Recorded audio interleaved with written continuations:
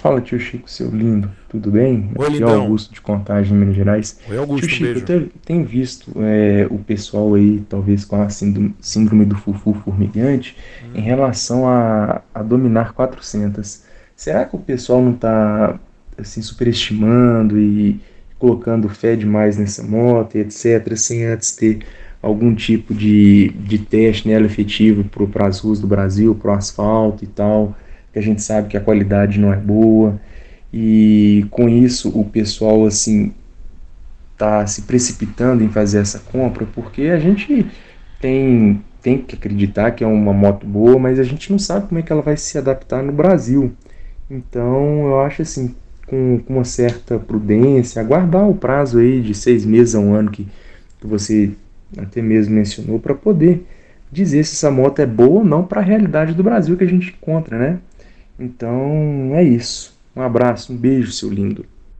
Um beijo, lindão. Ó, seguinte, a sua pergunta é muito válida, Augusto Meira. É, o ideal é que todo mundo aguarde, né? Seis meses a um ano. Eu acho que seis meses é um período legal para você avaliar um, um produto novo. O, o ideal mesmo, o, o- o tempo mais seguro é- são 12 meses. Mas a partir de seis meses você já começa a ver se vai pipocar algum problema ou não. E é o seguinte, Augusto. Sempre vai ter o, o- o bucha de canhão, o boi de piranha, né? Sempre vai ter, cara. Alguém tem que se ferrar. Sempre vai ter. E a gente tá vendo aí as primeiras pessoas comprando, não necessariamente vão se ferrar, como eu até mesmo disse, acho que não, acho que não não necessariamente. A Dominar é uma moto que já foi avaliada, testada em países que têm condições de asfalto e de tráfego pior do que o Brasil ou igual, aqui na América do Sul.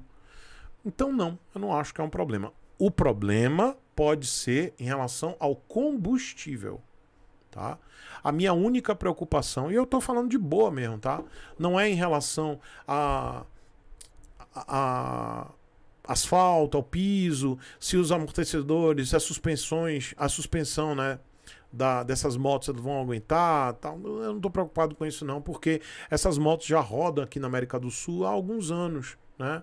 A dominar pelo menos há uns 4 anos, é, pelo menos a dominar 400, tá? Há uns 4 anos já está operando aqui na América do Sul. E ok, em países que tem asfalto até pior. É, E eu vejo também alguns produtores de conteúdo aqui da América do Sul botando a moto em tudo quanto é tipo de terreno, tá? Fazendo viagem longa, alguns já foram para Atacama. E eu tô falando de dominar 400. Então, em relação à qualidade da moto, eu não tô preocupado. Eu sei que a moto é boa.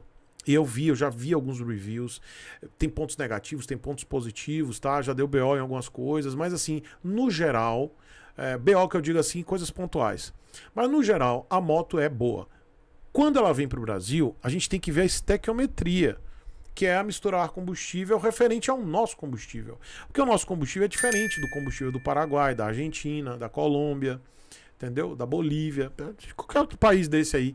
Peru, Chile, sei lá, é, é diferente. Então, essa é a minha preocupação. Então, a gente tem que observar isso, tá? E o pós-venda. Pós-venda, como é que vai ser peça de reposição, atendimento, mão de obra qualificada, né? É isso que a gente tem que observar. Esses seis meses, na minha opinião, são mais nesses quesitos.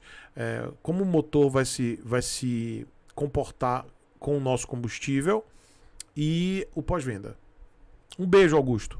Obrigado pela pergunta.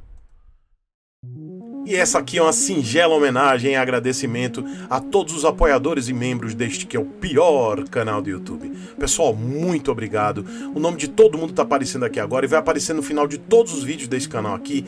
E se você gosta do conteúdo, quiser se tornar um membro ou apoiador, mas principalmente um apoiador, vai lá no apoia.se barra Chico Sepúlveda. E se você quiser se tornar um membro, toca aqui nesse botão embaixo, seja membro. Muito obrigado.